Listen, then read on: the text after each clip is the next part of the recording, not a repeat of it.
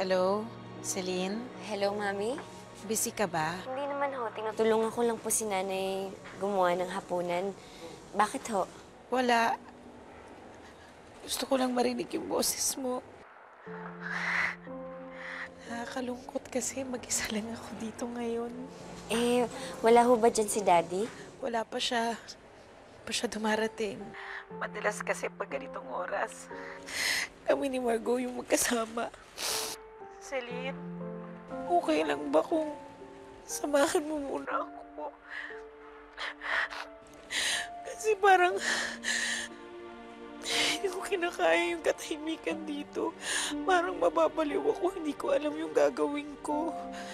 Please.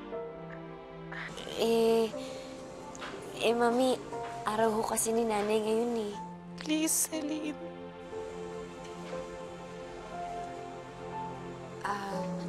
Sige ho, magsusubukan po pong magpaalam kay nanay. Ako na makikipag-usap sa kanya. Ay, hindi. Ako na ho, ako na ho. Salamat. Sige ho, bye-bye. Tulungan mo ako. Kasi parating na yung tatay Zack mo, tsaka si Oscar. Anay, may ipapakiusap po sana ako sa inyo. Ano yun? Si Mami ho kasi tumawag ho eh. O tapos? Ayun, malungkot daw ho siya sa bahay kasi siya lang daw po mag-isa doon. Kung pwede ho sana, samahan ko po siya muna.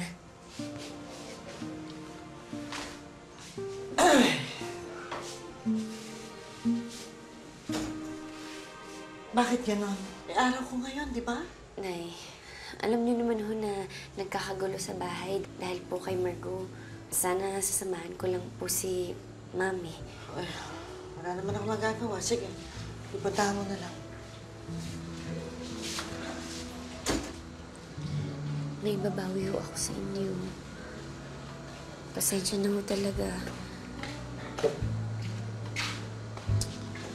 Anak, gusto ko lang sanang malaman mo na hindi obligasyon ng anak na gawing saklayan siya ng magulang niya. Hindi naman porket tinalulungkot si Beatrice, di ba? Tatawagan ka niya para dumikit ka sa kanya. Agaw ka man ng iba sa'kin Pag-ibig ko'y patuloy pa rin Sa isip